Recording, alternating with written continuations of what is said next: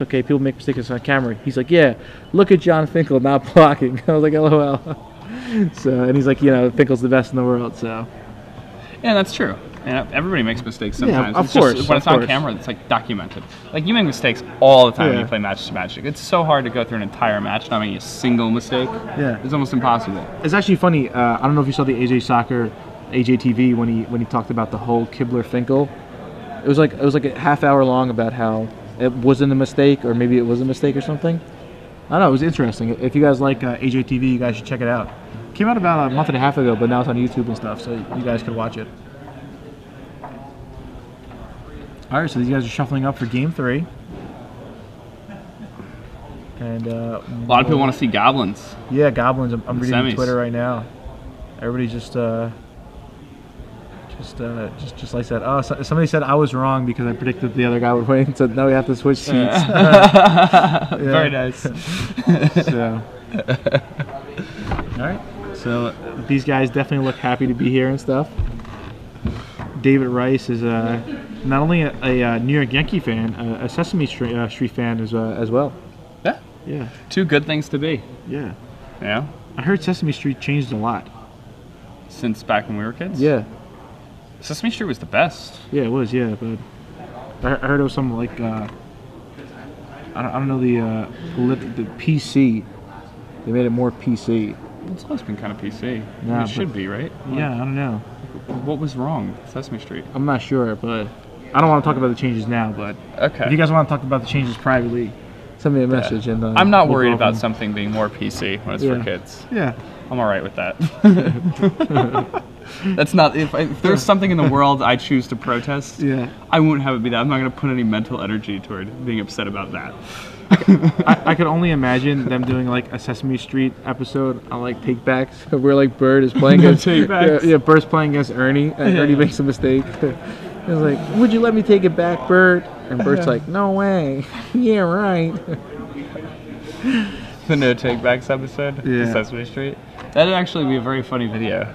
It probably would like to, would like to uh, make a voiceover of Bert and Ernie. Yeah. All right, and uh, we're off. They're playing. Right. Kevin on the play with his Esper Blade deck. Sinks off with an island. And uh, does David have the lackey? Oh, Well- he's got a diamond. Oh, I'm sorry. He's not the Goblin deck. He's the Loam deck. Yeah, he's a Loam deck. Yeah. So So I'll, I'll go with no. He I, I'll go lackey. with he does not have the lackey. I, I, I was like, in box time, what's going on? He doesn't have a Dark Confidant either, though. Nah, he, he, he would have played it. But I think I do, do see a couple of uh, red elemental blasts in his hand. I think I see two. Those are pretty good here. Yeah, they are. Yeah. It stops, you know, brainstorm. Kills a Delver. Yeah. Yeah. Well, uh, he, counters a Force of Will. yeah, he, he's not playing. He's not playing Delver. he, uh, he, he's the lingering souls. Oh yeah. Yeah, yeah. Jeez.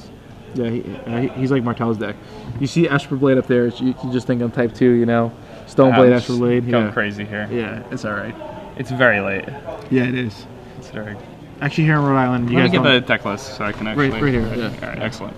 right here in Rhode Island, you guys don't know this, but it's actually uh, four o'clock in the morning on uh, on Friday. So yeah, It's actually. it's actually like hundred hours. it's a different um, fifty in advance. like plane of existence. Yeah, it is. Right now, there are two moons. All right, so Arid Mesa gets sacrificed. Kevin picks up his deck, and uh, he's probably gonna get a scrubland here. Oh, just a basic plains. That's good too. It's pretty good. I mean, David Rice is playing a deck that has Life and the Loam and Wasteland in it. Yeah, Can't fault him for grabbing a basic. yeah, and uh, you know he has Underground Sea in his head anyway, so he has access to black mana. Mm-hmm. So get out the basics, not a not a problem. All right. So uh, he uh, plays a lingering souls from his hand, and he'll put two spirits into play. I don't think David will have uh, you know anything to uh, to stop that That's pretty good against a deck like David's. because of stopping the countryside crusher or what? Just Lingering Souls in general. It's just, you know, it's just something that David can't really block. He kind of is going to be forced to use removal spells, or at least lands, to deal with those spirit tokens because he can't really apply a really fast clock. Sure. Like once he gets his engine going, he can obviously just like machine gun him out. But it's hard to get an engine going against a lot of counter spells. So Okay. All right, so uh, David uh, taps three mana, and there's a countryside crusher. So I mean, again, we're talking about the countryside crusher. It's it's good because David doesn't have to draw lands anymore if he doesn't want to. Yeah. You know. He's all action now. Yeah, and, and I mean, if he wants to, you know, draw lands or get more lands, he could just use the life field uh, from the loam. Yeah, which he's fa- going to hit now with uh, like like he's gonna have a greater chance to get it now Yeah, because course, he's not yeah. going to be drawing lands. He's going to be drawing loam. Yep. All right, so David uh, sacrifices that Wooded Foothills. He's going to stop this Force of Will with a uh, Red Elemental Blast. So. And that's really good when you red elemental blast a force of will. It's like a Hymn to Tourach for one red mana. Yeah. So. All right. Let's see. Uh, And Kevin- David's way ahead after that. Yeah. Kevin draws for the turn. I mean, mm, I don't really know what Kevin's plan could be here. Like, he could try to just swarm him with flyers Yeah. and start going in chump block mode with the Countryside Crusher once it gets big enough. Mm-hmm. I think that's kind of the game plan you have to be on here, right? It's pretty good pl- gameplay, you think? I don't know if it's pretty good, but I think it's what you have to do. Okay. So he flashes back the Lingering Souls. Yeah. and I'll pass the turn.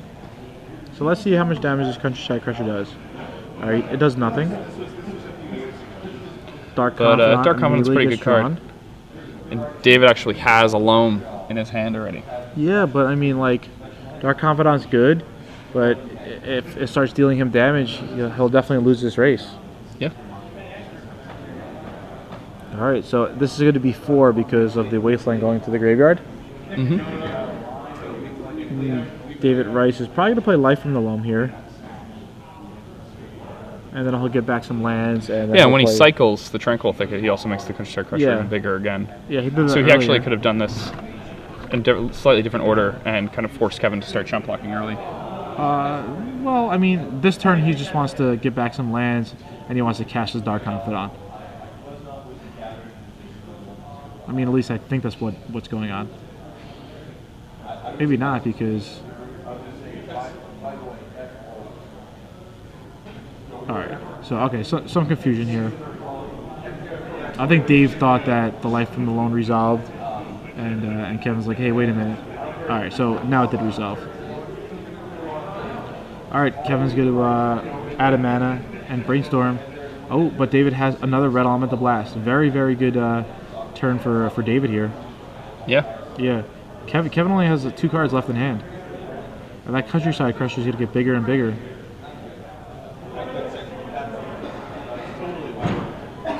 Kevin final land, he did. All right, there's the Misty Rainforest.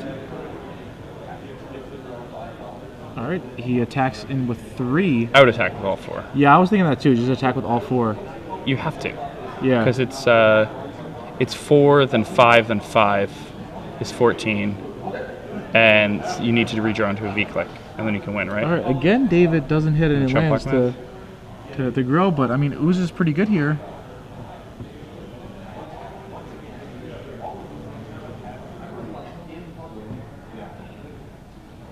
Actually, is not that good. It's like okay. You know? Yeah, I mean, it's. It's kind of just a 2 2, right? Yeah, pretty much. Yeah. So Yeah, I think Kevin might be a little bit. Oh, Kevin, you can't let that resolve, right? You just gotta. Because you have Lingering Souls in your hand. yeah, I'm not too sure what's going on in this game. I don't know what these guys are, are, are trying to do here. The plan is. Yeah, well, like what, like what, what's the exact plan?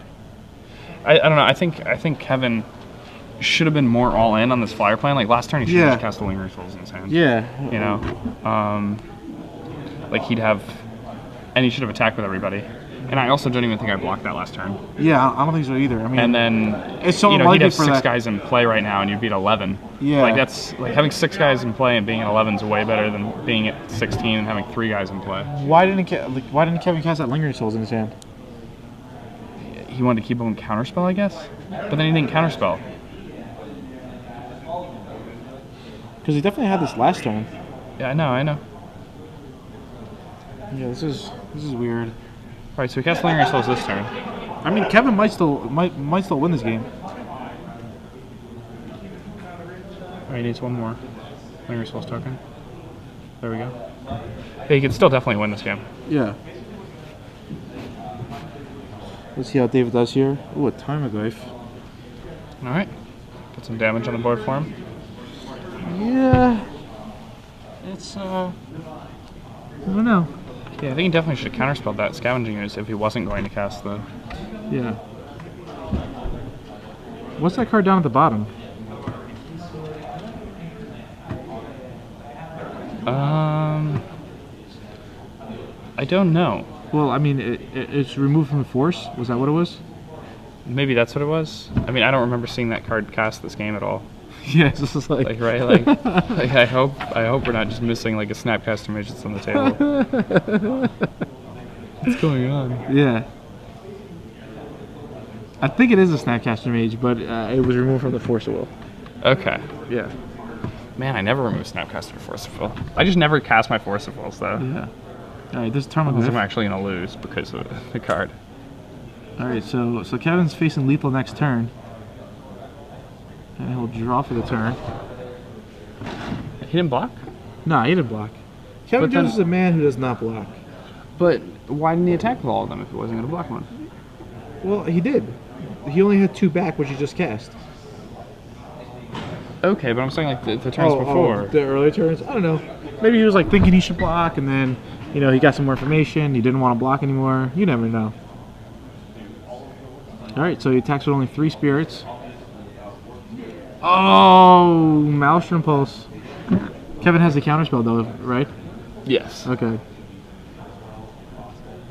Alright, so I guess it actually worked out that he didn't. Uh, All right. There's a counterspell. that counterspell is pretty important. Is that from like the Koth for Venser or something? Uh, that one's from the Jace for Chandra. Okay. All right, chump chump. So uh, yeah, Kevin's gonna take two damage. He'll go to four life, and he's gonna need to draw lingering souls here to stay in the game.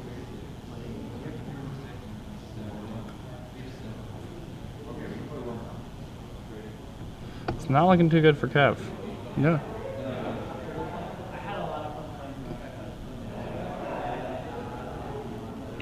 What do you think he could do? Yeah. Um. Do you think Kevin could have won this game, or no? I mean, this. I feel like he could have, but I don't know for sure. I don't know. Well, there's life. Life from the loam.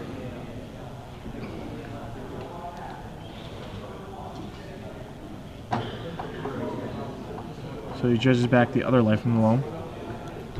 Why wouldn't you? I don't know how much I like Force of Will in the matchup at all.